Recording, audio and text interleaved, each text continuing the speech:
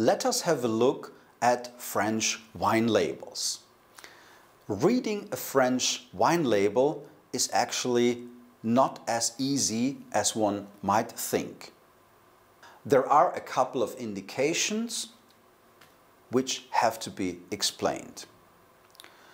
First and most importantly, it depends on the wine region whether the name of the winery is the dominating information on the label or it is the AOC which is the dominating information on the label. In Burgundy, for example, we find that the name of the village or the name of the AOC, the vineyard itself, is in biggest and boldest letters, whereas in Bordeaux we have the name of the winery that has the biggest typeface. So in this case we have Chateau Tour des Combes, which is written in biggest letters, so this is the dominant indication is the name of the winery. Below we have the AOC, which is Saint-Emilion, and in this case it's a Saint-Emilion Grand Cru.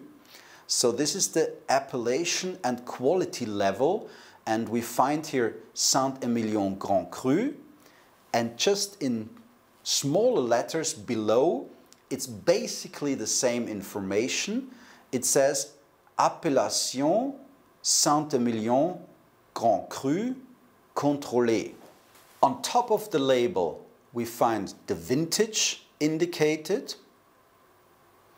And on the bottom of the label, we have the information of vineyard name and location, which is not mandatory. And we have the information that this wine was bottled at the winery. And this is mise en bouteille au château. So this is chateau bottled, which is important because in older days, but also nowadays, wine of Bordeaux is often traded in barrel and then the trader, for example, in the United Kingdom, they do the bottling. So it's a quality indicator when the wine was bottled at the chateau. In contrast to a Bordeaux label, a front label, a Burgundy label has as most dominant information the vineyard site.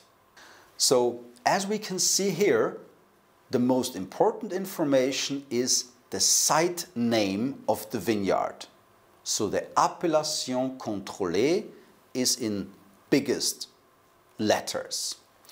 The producer is mentioned on the label, of course, but in rather small letters.